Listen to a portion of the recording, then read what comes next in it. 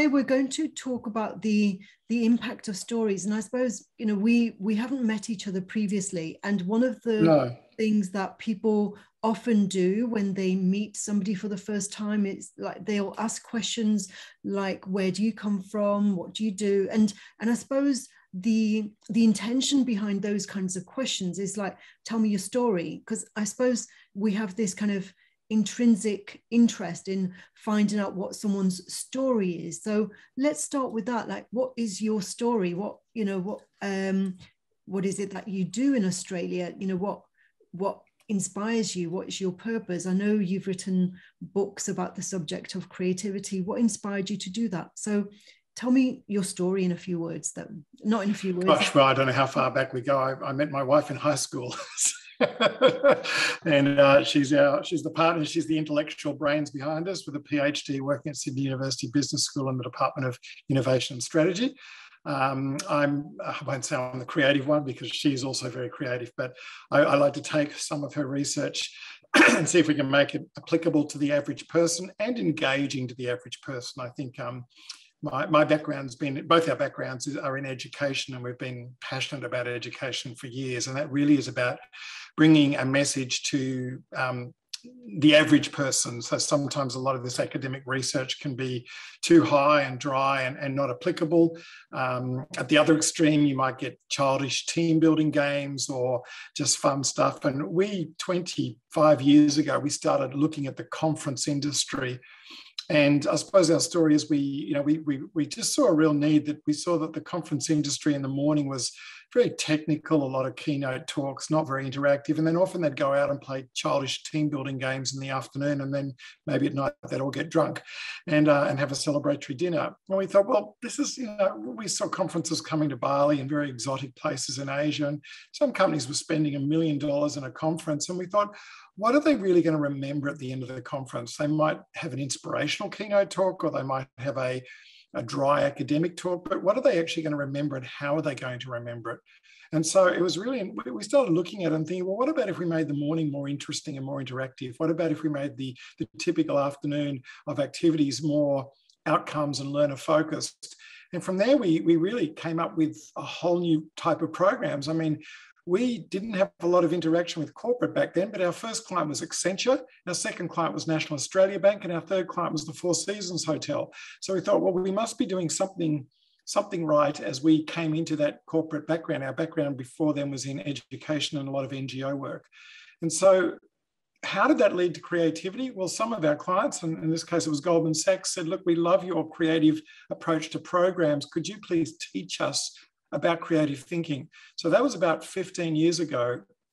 Uh, we were asked to start designing programs not only to be creative, but to actually talk about creative thinking and get some of these uh, more traditional companies, particularly uh, conservative country companies like banks, to actually um, start to look at creative thinking and see it as a way to benefit them rather than just some uh, what, what they their perception of creative thinking was staring at clouds and singing sweet songs um, or, or, playing guitar. So we were wanting to say that you know creative thinking is actually a process that can be used to solve difficult problems and we really need to get people looking beyond what they they see as immediately in front of them and the process takes place in a context you know uh, a lot of people it seems to me that they isolate the thinking. And for me it's like well thinking takes place in a context. And and as you say it's a process. We can't have a process without the context in which the process takes place.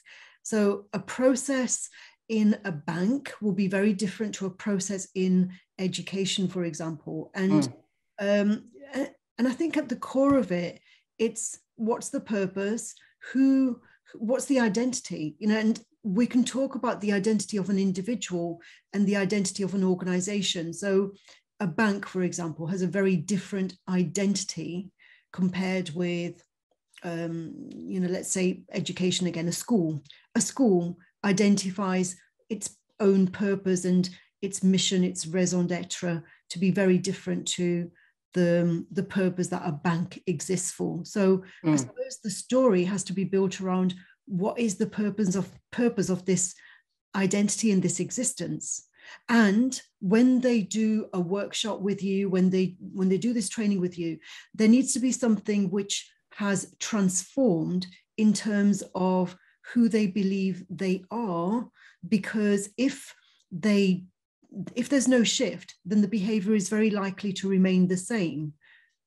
What, what's your experience of that Gosh, I've got about 10 things to answer for that one. Maybe I'll work backwards if there's no, because that's the most, that's the one in my in, top of my mind. But if there's no shift, there's no behavior change. So, you know, from an educational background, if you're just inspiring or motivating people, which is the, and I'm quite critical of my industry, so forgive me, I'm also critical of myself, but the inspirational, motivational speaker that rags to riches, climb Mount Everest, uh, whatever, if there's no shift in learning, then then then all they get to do is have bragging rights to say I went and heard so and so. I had to speak at a conference that the previous speaker the year before me was Steve Wozniak, and then up came Andrew Grant, author of Who Killed Creativity. Who's he? I'm a nobody. Uh, it's very hard to follow these famous people, but I have to ask myself, what am I offering that they're not offering? Look, I'm sure they've got great inspirational stories, but sometimes these inspirational stories can actually have a negative effect at conferences because people go away saying, well, I, I, I don't have that drive. I can't climb Everest. I can't get out of bed every morning and be as disciplined as this person. I don't have the entrepreneurial risk-taking skills of Steve Wozniak. Noting for every Steve Wozniak, there's probably a hundred that never made it, and that's called survivorship bias. So, so I looked at we looked at this learning environment. As I said, it started in the conference industry and started to realize what as you said, what's the behavior shift? Then they go and play team building in the afternoon, which would be a bit of fun, let off steam. But, but again, there was no learning. There was no facilitator to actually design a, a particular into experiential learning, learning experience, and then take the people through that to try and get an outcome of maybe communicating better, or in today's world, learning to work in virtual teams, or in our area, uh, you know, we, we wrote the book called Who Killed Creativity and How to Get It Back, and then we designed a whole uh, interactive game board, and now we've got an online game board where people can use it as a diagnostic tool to discover what, what blocks that creativity. I'll get to that part of the how we ended up writing a book on that particular topic in a minute. Um, so I think, yeah, I'm just trying to remember your first questions in that, in that very, what, what were some of those opening questions? Because well, the last suppose, one was about behavior. Yeah, I suppose it's to do with, for me, identity and behavior are integral. Oh, the different yeah. contexts. Yes. Look, I, I, think it's ironic. I mean, you mentioned the word banking process and creativity. They, they seem to be a paradox because the last thing banks want is creativity. I mean, they tried that during the GFC and it didn't work too well with fiddling the books and being creative that way. And yet, when people think about creativity, we tend to have a stereotype that it's not about processes, it's actually about freeing your mind and, and going outside the box and thinking of boundaries. But if you want to bring creativity into the corporate world, the paradox is you actually have to give them a process. But you're right, if it's school and kindergarten, then, then it is about letting kids play and free play. And I know you and me have are very well um, researched on the, on the concept of play and the power of play, uh, particularly amongst children. But you start talking about adults playing and they get a bit freaked out or, or downtime. So if we want to pitch the story or the organizational narrative of creative thinking to adults, we need to say, well, we need to sort of blend that paradox of creativity and processes together and see if they can actually work as a creative process. Um, and therefore, for, for an adult to look at creativity, they do have to go through some sort of process. Um, and that, that's where we've heard the word design thinking or the ability to actually you know, go, go, through a series of stages to help them look at creative thinking, which is the diverse, you know, going up and up and up, looking at diverse thinking, and then coming down, looking at the more critical thinking. So you're absolutely right. We need to frame the, the narrative of creative thinking in the corporate world inside a process or inside a model that helps them come to a learning outcome, and that is to solve problems faster, better, uh, more achievable, and outside where their current competitors are thinking. Whereas if we go down to school children, it is about giving them the chance to play, the freedom to play, uh, the ability to, to explore and, and lose all those boundaries um, you know, we, we you watch kids now being ferried from one activity to another. After they finish school, they get taken off to maths lessons and then violin lessons, and then maybe go to the gym. They have absolutely no downtime whatsoever. Any downtime is spent on their screen. Uh, our kids are losing that ability to play and be creative. So you're absolutely right. The the, the narrative uh, or story behind creativity for children and creativity for corporate adults are two very, very different stories. And also, you talk about children. I, um, I remember teaching a 16 year old um, in London, and my approach because I'm so passionate about creativity, is I was always asking them to be creative. And I remember saying to this 16 year old Chris, you know, I want you to think for yourself. And his response to that, he wanted me to guide him more. And he said, But Miss, I'm only 16. I don't know how to think for myself. I want you to, to tell me like what I've got to do. And it's like, and so there was this, I suppose that is um, the importance of age as well. You know, it's like we can't uh, we can't expect a 16 year old to think as maturely as a 26 year old. You know. Uh, well, that's an interesting point. Um, we made a video called Hands Up. It's on our YouTube channel playlist uh, years ago when I was young and, and, and not grey and not wrinkled, where we actually went into my daughter's school. It was an international school in, in Asia. And what we did was we asked all the children from kindergarten all the way through to year 12. We went to every single class because there was only one or two classes per year, which was a great microcosm. Who thinks they're creative? And it was one of the most fun days I've ever had because we started in kindergarten and all the kids in kindergarten are putting their hands up, busting, saying, I'm creative, I'm creative. And they just, you watch the video and the enthusiasm of the kindergarten kids is phenomenal. And exactly a graph like that, I mean, you, you couldn't draw a better graph. By the time we got to year 12 and we asked who thinks they're creative, one kid sort of sheepishly put his hand up. Um, so then we went into the playground, and, and again we, we observed as it's not, not not that you need to be observant to watch the younger kids just playing and exploring and trying different ideas, and the older kids just sitting talking. So we interviewed the younger kids and the older kids in the playground and asked them, particularly the older kids, what happened. And I remember one girl, she said, "I don't know. We just stopped playing." And then finally, we got permission, and this, you know, I don't know if this day and age we could do this. We got permission to interview the teachers. Now, I had a good relationship with the teachers, so it was kind of a, a, fun interview. But I basically said to the teachers, "Look, we've just gone right through the right through your year K to 12, asking who thinks they're creative. Um, started off busting by year 12, nobody. What are you? What's your response to that?" And um, Zoe's favourite teacher uh, basically said, look, the, he was a maths teacher. He said, the problem is school rewards correctness. And particularly as he got older, it doesn't reward creativity. Now, he's a maths teacher, but then he went on to say, but actually, even in maths, we need to learn to be creative. Now, that's why we wrote the book Who Killed Creativity, because, because we discovered there were a million books out there on how to be creative, but we felt that no one was addressing this particular issue that, that, that uh, I think the research is that 98% um, of five-year-olds score high in, in convergent creative thinking, and only 2% of adults score high in that same test. Uh, if you do the Torrance testing, the CQ testing, you'll see again that children score much higher in the Torrance testing of CQ than adults. And so we didn't want to write another book or design another seminar on how to be creative. There's too much competition. We thought it would be worth exploring the issue of what blocks the creativity, what, what, what does happen in this journey from uh, childhood to adulthood. And then ironically, it's at adulthood, as you said yourself, is when we need to be creative. And yet school conditioned it out of us and then we went on to university again when we were rewarded for being correct. And then most of the KPIs in a corporate environment are rewarding correctness. So we don't want to take the risk in a corporate environment to be creative. Um, and yet we know the research from the IBM CEO survey and the World Economic Forum are saying that CEOs believe that creative thinking is the number one attribute people need to upskill themselves. So we've got this paradox. We were creative as children. We're no longer creative as adults, according to the research, uh, and yet, and yet, it's demanded of us in the corporate world. And yet, the corporate world is not setting the environment to be creative. It's not measuring our creativity; it's measuring our correctness. So, I hope your listeners can can sit with that paradox because that's quite a big one that they really need to start to think about. How do we resolve that paradox when the corporate world and the workplace is not encouraging it? Well, there's um there's a mismatch between what people say is important and what is important in reality in terms of getting a job because a lot of these CEOs may say that creativity is the number one skill because they have made it to that position.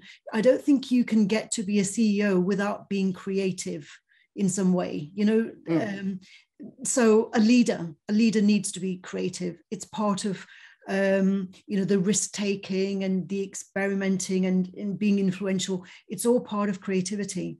But when somebody is um, you know, taking a junior level job, they're expected to conform rather than to mm. creative because being creative is too risky and they have to fit in rather than belong and you know so the starting point the entry point of getting into an organization is usually, even though they may say, we want you to be creative, well, if it's Google or if, if it's Facebook, if it's Apple, of course, it's very different. But when we're talking about organizations that are more traditional, that have a traditional role rather, rather than a creative role, um, then conformity seems to be rewarded more than creativity in practical terms. Well, that's right. I mean, there's a, a, great story we have in the book where we talk about a general manager uh, paid a lot of money for us to come and run creative thinking sessions, design thinking sessions for his uh, team. And this is why we ended up, as I said, focusing the book and the seminar on the Who Killed Creativity aspect before they do the design thinking because we'd been teaching design thinking for 20 years, but we realized people were coming saying, well, you know, again, in banking, well, this is not my responsibility. Uh, I'm not creative. I've got too much pressure. There's too much fear. My boss is a control freak. So we started collecting all these excuses. And then we worked with a neuroscientist to ask, well, what, what's going on up here when someone's under fear? What's happening to their brain? And he talked about the fact it goes from the front of the brain, which is the more um, uh, modern brain back to the primitive brain, which is the fight, flight, or freeze when someone's under fear. So there's no way you can be creative if you're living in your primitive brain in a fight, flight, or freeze um, aspect. And yet that fight, flight, or freeze was designed to help us, you know, get out of an emergency. And yet most companies put us in that in that sort of emergency situation uh, 24/7. We're, we're constantly living under that pressure. But but back to this general manager, he engaged us to do a design thinking program and to solve a difficult problem for his team. And I really wasn't impressed, and neither was his team, when he gave us a condescending opening speech and then said, Enjoy your two days of training. I'll be back at the end of the two days. And we went, What? This is your executive team. We're trying to solve difficult problems. Who this was not training. Training implies giving you a skill. We're here to solve a difficult problem, and we need your input and we need your guidance, and we need you to watch your team. Anyway, he left. The good news is people were, we discovered he was a control freak. So there's the control that shuts down creativity. So control was gone, at least for most of the two days. We had an amazing time. We, as you know, with design thinking, we, we came up with lots of ideation ideas, lots of prototypes. By the time he came back into the uh, into the room, the walls, by all four walls, were covered in flip charts, as was happens in a design thinking uh, ideation process. And each team was meant to present to him. So here we are at four o'clock in the afternoon. They're, they're coming back. The, first team was so excited. They, they were just bubbling with enthusiasm to present to the general manager their ideas. They got up and they charged enthusiasm. And he just sat in the middle of the room with his arms folded. He was looking around at the room. You could see he was freaked out by all the ideas because he wasn't there for the process. He wasn't there for that part that where we said 99% of brainstorming ideas don't work. But if you want the 1%, you've got to go through the 99% to find that 1%. Anyway, the first team was, they sat down and he just sat there with this terrible body language, you know, talking about a real story here. And he sat down with this terrible body language. The second team got up to present. They weren't quite so enthusiastic. They're a little bit nervous because they could see that he wasn't, he wasn't in tune with the rest of us. By the time the fourth team got up to present, they were pushing each other, saying, You do it, you do it, I don't want to do it. And this poor guy got pushed up to present in front of the general manager and he fumbled his way through the process. And the GM just sat there with the most terrible body language. And that's when we realized you can have all the best tools in the world, all the best design thinking, all the best solutions of creative and critical thinking. But if you don't get the environment right, if you don't get everyone bought in on it, then the whole thing's a waste of time.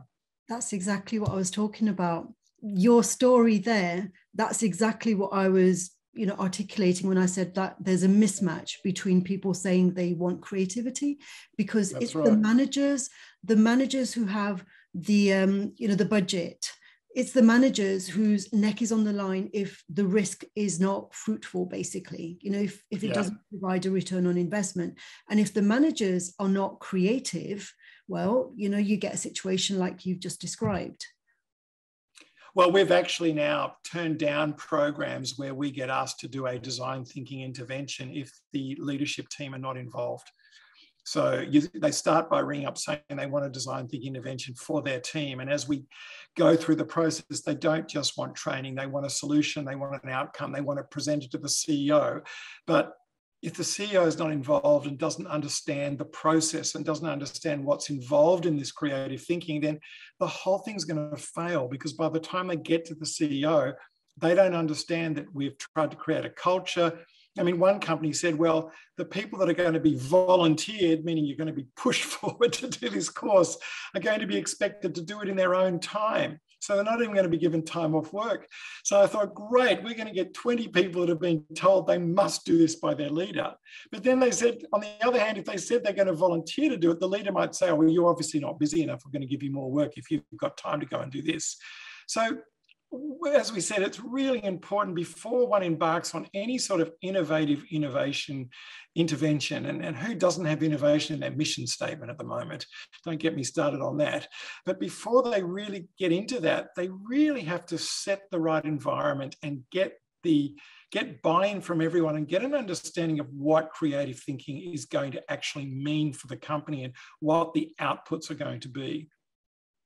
And we went in, we went into one company, and it's, it's, very typical. They showed us their innovation lab, which was on the top floor of a multi-million dollar uh, development in Singapore.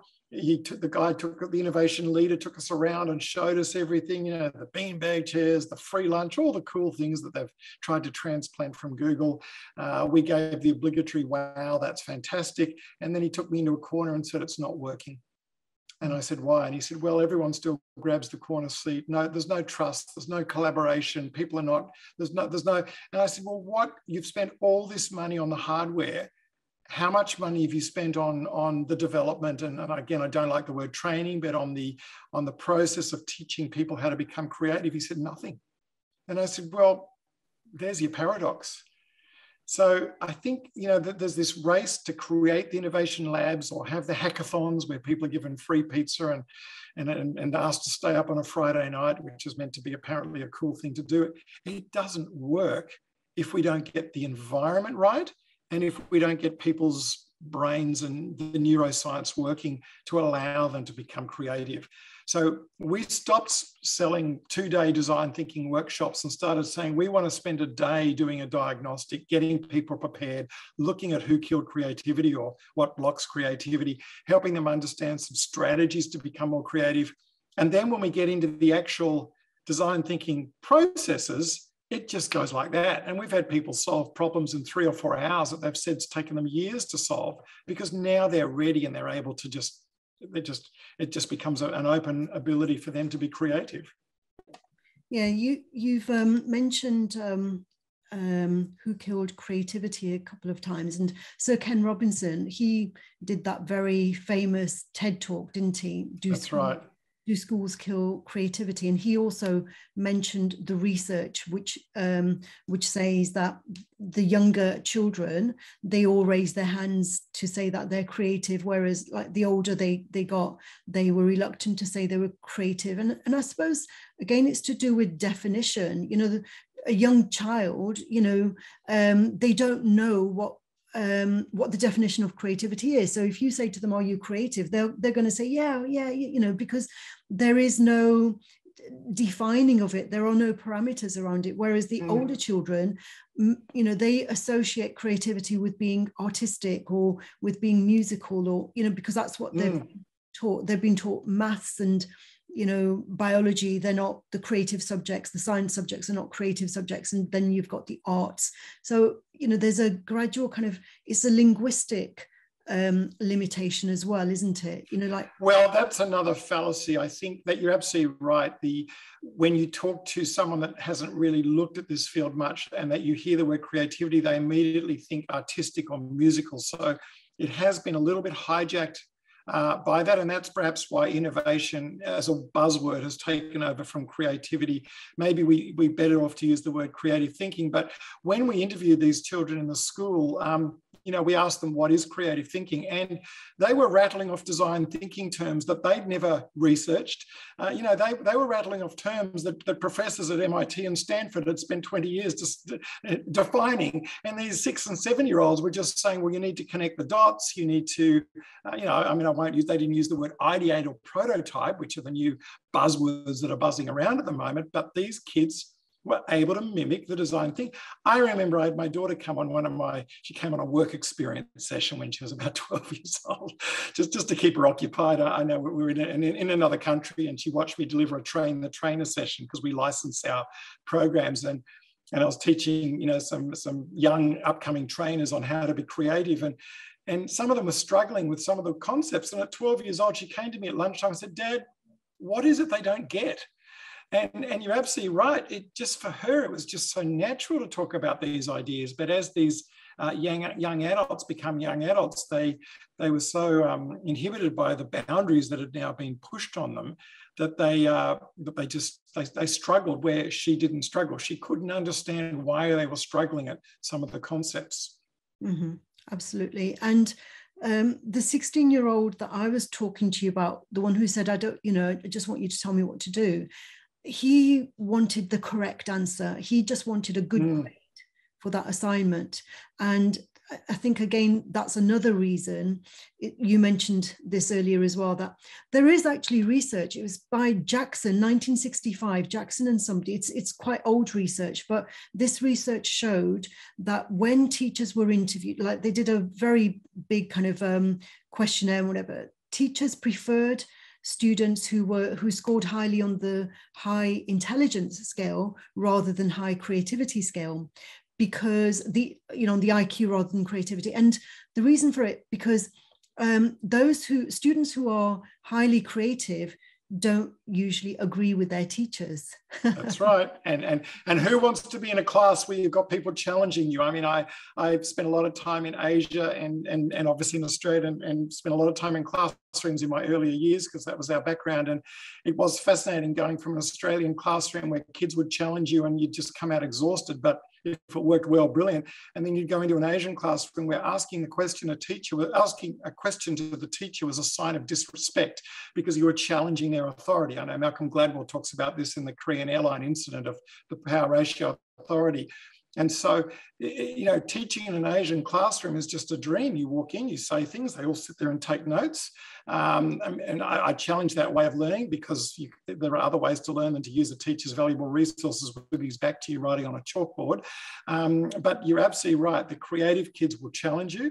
And, and that's really the type of classroom that we should be doing now. Kids should be learning content online uh, through videos, through webinars. I've always said if someone wants to engage me, I better be better than my free YouTube TED Talk because because I, that, that's a one way um, delivery of delivery of the content. But but if they want to pay for me, then I've got to do more than just deliver them content.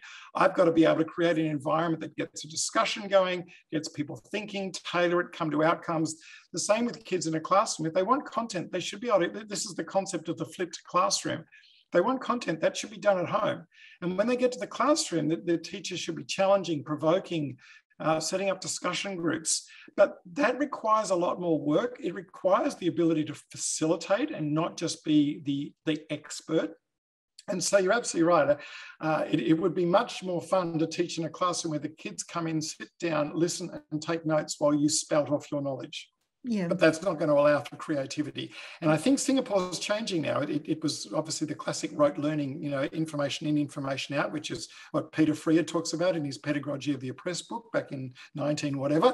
Um, I think Singapore is changing where they're starting to open a classroom of inquiry and discussion, which will really throw the whole model around. And it will be interesting to see one of the first Asian countries really trying to embrace this ability to, to flip the classroom over. Yeah, absolutely. And the other thing about the creative children is that the those who are highly intelligent, they know exactly what the teacher wants and they will give them exactly what they want. Right. Whereas the creative ones will go off and do their own thing. and the thing exactly. it can be very difficult to assess uh, an assignment where the student has done not what you wanted them to do but they've done their own thing that requires more creativity on the part of the teacher and and and as you said earlier um, when I've done my research with creative teachers, those who are creative, they end up doing so much extra work in their own time. Because mm. and and I hate to say it, but and so many I've got so many teacher friends that are just amazing and they're burnt out and they come and work for me now. I wish they were back in their classrooms. We um, developed an educational curriculum K to 12 in India for 25 million children based on health uh, because it was just such a rote learning system of science and maths that um, one of the one of my lecturers at the university he'd said before he died and before he fully retired he wanted to go and do something valuable. So it was really interesting to to try and bring, breathe an interactive experiential learning into a curriculum um, from K to 12 on the topic of health and teaching health in a way that again who are five Australians to tell the state of Tamil Nadu how to be healthy when when we say wash your hands and a principal says, well, I've got 2,000 kids in my school and one broken tap. Uh, so it's, you know, it's a, we, we had to work with them to really try and help them understand how to develop a curriculum that suited them. So I, I, I just think teachers the most underpaid and overworked around. And I, and I wish I wish we would not only flip the classroom, but flip the salary scale as well. And so our teachers were the most highly valued. As, as we're seeing research coming out of the Nordic countries, particularly Finland, um, where teachers are highly valued and therefore we are getting the best talent drawn into the teaching ability. Unfortunately, the, the, only teachers that do survive are the passionate ones, but the burnout rate is horrific. And, and you're right, they want to, they will just resort to getting the numbers and getting the, getting the, getting the figures in and getting the assignments marked because the creativity is being squeezed out of the teachers as well, right when we need it. yeah absolutely. And um, yeah I, I, laugh but it's not it's a very serious subject actually isn't it? That we we just don't you know even though we we're so passionate about creativity we don't always have the resources. You know we don't we just don't have the time at, um, you know to be able to be creative in the way we teach even though the willingness is there that's that's well that's right and what what we did as i said over a period of years of um, both being teaching and then moving into corporate and then teaching creative thinking or design thinking we started to gather everyone's excuses of all the reasons why they didn't think they were the creative ones. That's for another department, uh, as we know it should be for everyone. And, and that was the fun of writing the book. We, we gathered all the excuses and put them into categories and then sat down with a neuroscientist and psychologist and said, okay, what is going on uh, in, in these particular, what's going on with your brain? What's going on in the environment? And we boiled it down to seven killers or seven suspects or seven blockers. Uh, we wanted to keep a creative theme. Heaven help us if we were to write a book on creativity and not be creative.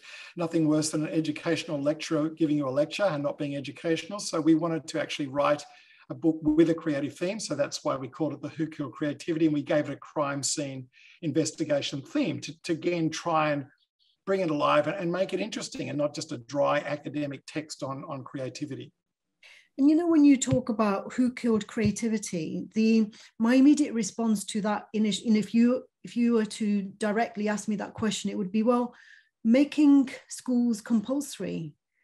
You know, oh, that's interesting. whenever we make something compulsory, we t- we we you know we we squeeze out the creativity out of it. You you and I, I'm sure, like we must agree that if you say to somebody that you have to do this, um, uh, there is new newer research coming out that says that for highly creative people if you make something compulsory if you say they have to do something they're they're shown to be less creative than if it's well like, it will immediately shut that that's the control so we've got the default part of the brain and um, there's also i won't go into too much the neuroscience um, but you've got the default network and other networks you've got the front and the back left and right um, but the point is certain certain environments are pushed on you shut down certain parts of the brain. So the default network gets shut down in this controlling environment if you're forced to do something. But look, I think you know the alternative is saying schools not schools voluntarily could have a, dangerous results on the number of kids that,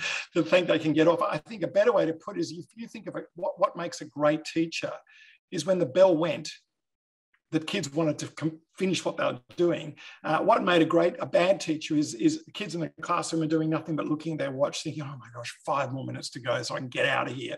What, what we really should be measuring teachers by is, is, is their ability to engage Um, and not the, the, greatest mistake any teacher can make is to assume that the audience is as passionate about the topic as they are. And so, really, if you're a maths teacher, you should be selling maths. If you're a science teacher, you need to be selling science, not just talking about it. Um, I had to do health and personal development and religious education when I first started, and they were three topics that were considered at the bottom of the marking scale. So I had no choice but to make my subjects interesting. And it got to the point where they became the most popular subjects in the school because I had to work really hard, and this is where the creativity came from, to keep kids in a delinquent boys' school engaged. It was it was next to impossible, but but we just had to work day and night, Jay and myself, to to design material to make sure that they saw this topic as, as a relevant for their needs, not because there was an end of result assessment or an end of result exam or a box they had to tick. I wanted them to see the inherent value of what they were learning in that 53 minutes in the session, not some future thing. And I'm going to boast that when the bell did go off, kids wanted to stay. They enjoyed the session. Uh, I'm not saying I'd make a great maths teacher or science teacher, but that that that might be the solution because you're, you're black and white. Let's not make school voluntary. Let's not, let's make school voluntary. Could um could un, unearth a whole other uh, issue, couple of issues around around that. But maybe we can look at the concept behind, and that is kids should be engaged. And that's the most important thing we should be doing in, in, in, learning, making sure that our lessons have an engagement behind them rather than an end box to tick to say, I've now done it. And that should reflect through university and it should reflect through our own ongoing development as we become adults. We should be engaged and want to learn. The saddest thing about school is most kids finish year 12 and think, I never want to do it again. Wow, boy, have we achieved, not achieved our goals. What really should happen is by year 12, kids should say, My gosh, that was the most wonderful 12 years of my life. How can I continue the learning? Instead, we put them through the most grueling high school certificate set of exams that once they put their pen down, they never want to do it again. Well, in we've the really missed the mark. In the UK, Andrew, 20% of school leavers, after they've done 12 years of school, 20% uh, leave with no qualifications, basically. Wow. well, let's hope they got something out of it. But yeah, I mean, it, it just it is a it is a process. It's like Survivor TV show, isn't it? It's a process of elimination, and and you've got to ask yourself, what what are we trying to achieve? If we don't instill in, in those kids during that 12 years a love of ongoing learning, but instead they put their pens down and think, oh my gosh, I never have to do this again. Some of us go into uni because we want to tick the boxes and jump through the hoops in order to get a job. But we, have lost the plot if we don't make the learning a, a, an engaging, fun experience. And, and, this comes back to the original part of our conversation. People went and did fun team building in the afternoon, but we used to sell to clients and say, hey, how about it's fun and they learn something? And the clients would go, really? Can you do both? And we'd say in the morning session, how about the morning session is they learn something, but it's also interactive? And they go, really? This is what 12 years of school have taught us that fun and learning don't go together, but actually they should. And shame on us that we've we've made fun and learning two separate things that, that are diametrically opposed in our in our current brains. Okay, excellent. Well, thank you very much for all your stories, Andrew. I've really enjoyed listening to you and well, I'm sure we could continue to talk forever, but uh, I really appreciate it. And I hope people yeah. can um, can discover who killed creativity in their own personal life, and most importantly, how to get it back, which is the second half of the book. Okay, brilliant. Well, thank you very much, Andrew. I'll speak with you soon. Bye bye. Absolutely. Thank you so much. Bye bye. Bye bye.